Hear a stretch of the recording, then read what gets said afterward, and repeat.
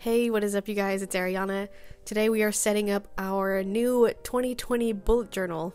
This is the journal that I chose to go with. You can find it at Hobby Lobby in the planner section. And if you go when all the planner things are on sale, you can get it for 50% off, which is what I did. And this one is a bit larger than the typical size. Uh, it's bigger than the one that I used last year. The reason being, I just wanted to have more planning space on each spread. I think the typical bullet journal size is about an A4 or A5 if I'm not mistaken, and this one is closer to but not quite as big as an A3. So to start off, the very first pages I wanted to be just a decorative thing um, and had a quote page because you know we have to announce that it is 2020 now and spark a little bit of motivation also. I basically only used one color throughout this entire setup and just stuck with like a neutral theme. And I think overall I try to keep all these spreads pretty simple and leave some white space as well. For the quote page, I decided to go with Every day is a fresh start because it's such an inspiring thought for me right now, and especially with the new year. I don't know, I always find it exciting to start off a brand new year and just turn the page and have a blank slate again. But also, it's a good reminder that each day and each moment is an opportunity to have a fresh start and move towards your goals. So, yeah, I really just wanted to have that reminder there at the very front of the journal. So I just used my Tombow dual brush pen in my accent color to do the lettering, and then I decided to add a drop shadow as well to the letters just to give it more dimension.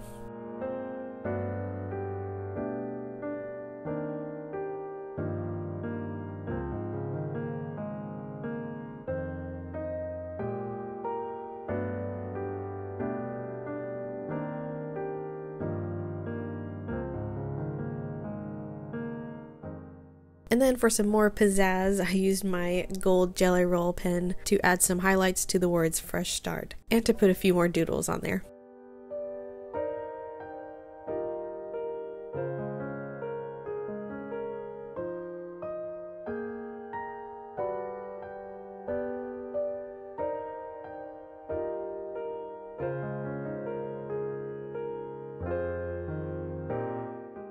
This is seriously like the best gold pen ever. I just love the way that it shines on the page, although you do have to wait for it to dry, otherwise it will smear. Okay, so moving on to the very first productive spread, we are of course doing a future log, or some people will do like a year at a glance. And with the size of this journal, I was actually able to fit all 12 months on one page, so that was exciting. I decided I wanted to do a similar overlay design like I did on the very first page with the 2020. So where I'm drawing the numbers with the Tombow dual brush pen is where I'm going to be overlaying the little mini calendars on top. Now, I don't know about you guys, but I can't seem to do a future log without messing up at least once. And I think in this whole spread, I did maybe three times. Like, I wasn't planning to write the names of the months on here. The whole point of having the numbers was to show which month it was. But by the time I was actually doing the spread, I totally brain farted and just went ahead and put January. So, you know, you have to roll with it sometimes. And then next to each mini calendar, I drew some lines with a gray fine liner just so I can write down the important dates. I seriously love using this gray fine liner because you can add lines to give it structure, but it's not so harsh like a black line. But yeah, I don't know, I feel like it just really pulls together the whole spread visually. And since my future log only took up one page, next to it I decided to do my 2020 bucket list. I decided this year I didn't want to do just like one big kind of yearly goals page or something like that, but then instead focus on more of like monthly goals.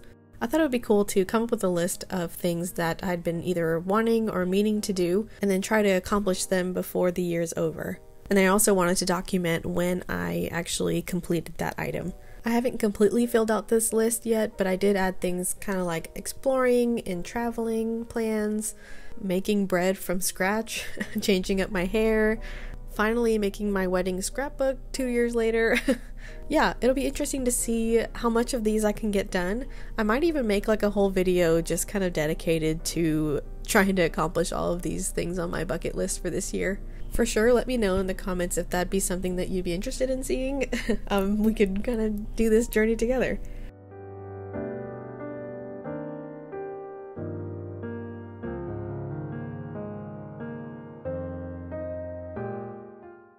Now, this next spread is something that I try to do every year as well, and it's reflecting on the previous year and then kind of looking ahead to the next year, and mainly focusing on my words of the year. At the end of every year and beginning of the next year, I always like to think and pray and meditate on what word is going to be like a key thing for me that year, something that really sets the tone or is the vision for that year.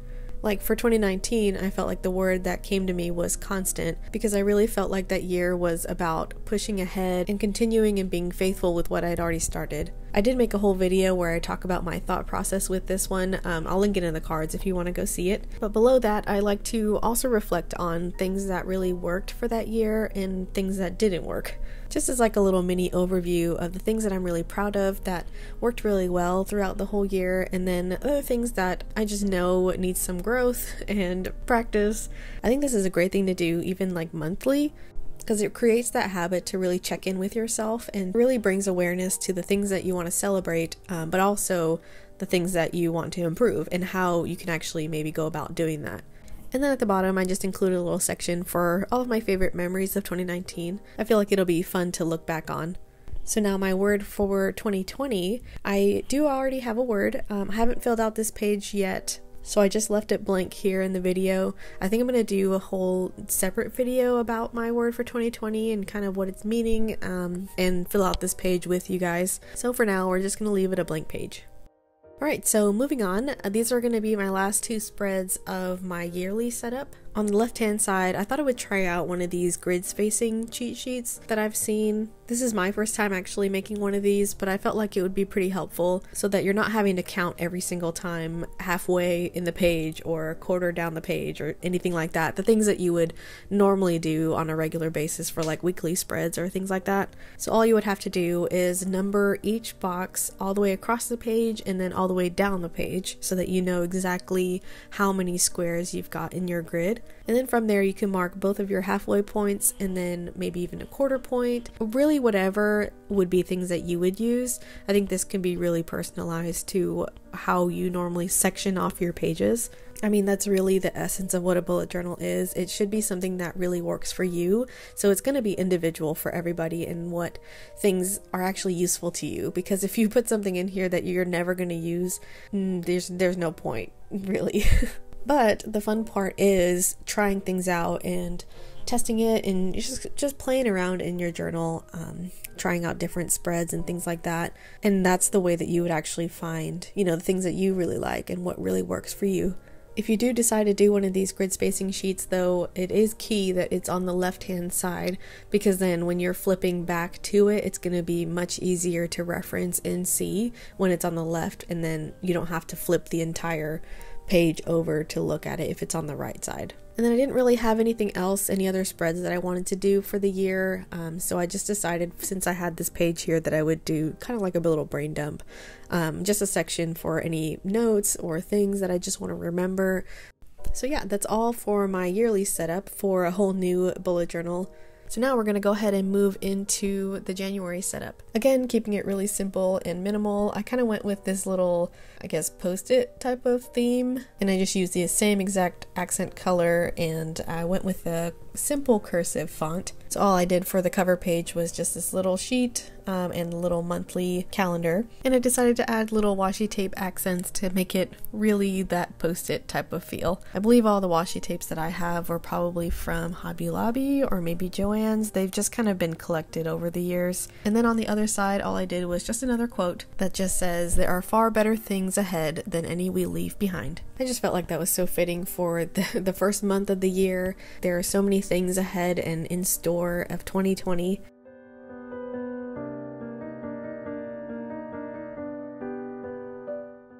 And now moving on to the calendar spread. It's basically just one big giant post it that I did uh, to put the calendar in. Just a simple one page calendar. Typically, what I use this spread for is all like the main events or appointments that I know I have already ahead of time. Because with bullet journaling, you really just do one week of planning at a time. And so, this is like the catch all of all the future appointments and future dates that you have coming up. So that whenever you do go to set up your week, you can look back at this calendar and know exactly what is going to be happening that week. Again, making great use of my gray fine liner.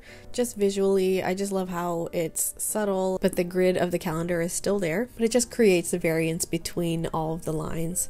On these types of spreads, I also like to always include a little like running task list of things that I for sure want to get done this month or I need to keep in mind for this month. So I've got that section there at the bottom as well.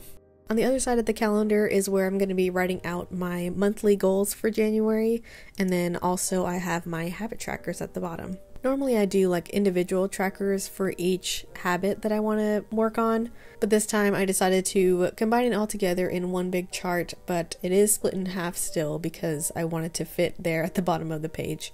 So this month I'm working on things like drinking enough water, uh, tracking my workouts, planning to do at least three times a week, um, getting my skincare routine in, doing a little bit of tidying each day, working on my content for YouTube and for Instagram, and then also journaling. Journaling is something that I really want to get into and do as like a daily practice, even if all I did is just throw a couple blurbs on a page and then call it a day.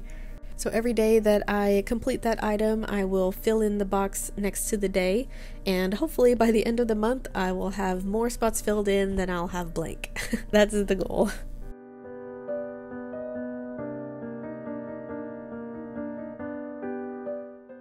Now, this next spread is very specific to just planning out content and things that I want to post on here for YouTube and for my Instagram.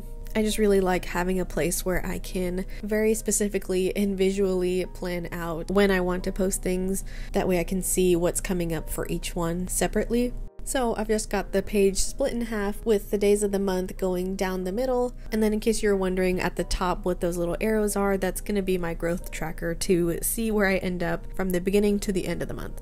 And then I left a little space on the bottom of the right side just so I can have a place to put all the different ideas and different videos that I want to make this month. And then that's it for this spread. I'll have to see how well this works on paper or if it just ends up being extremely messy. I've seen people do planning like this um, digitally, and that might be an option for me. We'll have to see depending on how much things change. But for now, I think it's a good way of planning that stuff out and having a visual overview of it. And with that, we're on to the last spread, and it is my first weekly spread. It's week one, December 30th through January the 5th. Oh, and I don't think I've ever mentioned, but I usually like to start my weeks on Mondays, so that's kind of why you see my calendars kind of shifted from the normal kind of calendar.